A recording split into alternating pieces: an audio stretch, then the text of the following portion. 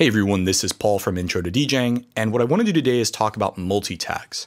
Now, what are multi-tags and why are they helpful? Well, sometimes you want to categorize a track by more than one genre. So suppose I have a song and I want it to be tagged as a 70s track, so when I look for 70s music, it shows up, but it also shows up when I look for disco tracks.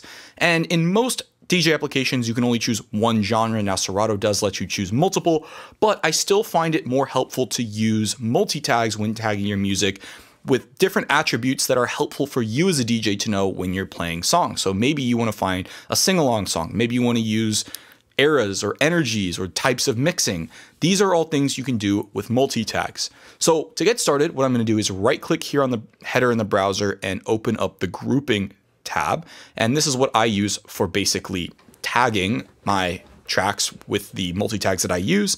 And I got this idea originally from some articles from Digital DJ Tips, but I've tweaked this system to my own and, and I would recommend, well, you can find a system that works right for you, but I'll tell you how I tend to do it. So if I'm looking at this particular track, as I import a track, I need to set the tags. This is a track, well, I did the mixing on this, so it's a track that came out in the 20s. It's kind of an R&B track and it's kind of laid back. So I could kind of think maybe it's like a starting track, something early in the night. These are all keys that I've sort of come up with over time. So what I'm trying to do is tag the era because I often get asked to do, oh, can we do a 2000s party or a 2010s or an 80s party? So it's important for me to be able to sort by sort of the decade. Then what I'm going to do is tag something like the genre or just some other sort of thing that's helpful, and then maybe the time of the night or the energy that I would playing play it. So this is more of a starting track. I could also say, hey, this is a late night type of track, LAT, something like this. Actually, LAT is for Latin music, so maybe I would do LTE, something like this. And now when I can search, I can actually search by these tags as long as I'm using the separator. So I'm using the square brackets here to separate these tags. I find that system works really well, and all of my tags are just three characters. So going back to the example that we started out with, if I want to find all of my 70s tracks, I can just simply type in 70s and I will see all the tracks that I have that are 70s. This is just a cut down version of my library for this video. I have a lot more music than that.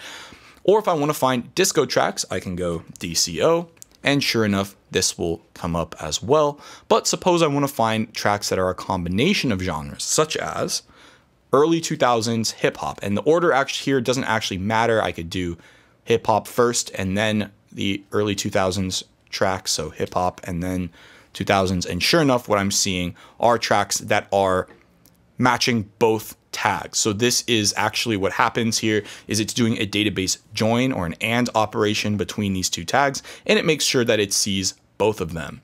Um, alternatively, I may want to find Dirty South tracks that are in the hip hop genre. So I can do this. And remember here in Serato, just Command F will immediately search your entire library for these. So this is really helpful for saying, oh my gosh, I really want to switch genres really quickly. I want to find slam edits and I am have it sorted by BPM.